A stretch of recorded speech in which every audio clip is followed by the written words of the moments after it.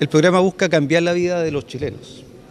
Cuando nosotros nos comprometimos con la reforma tributaria, lo que queremos es que los trabajadores de Chile tengan mejores condiciones de negociación que tiene que ver con sus salarios, con sus condiciones de vida, con su seguridad.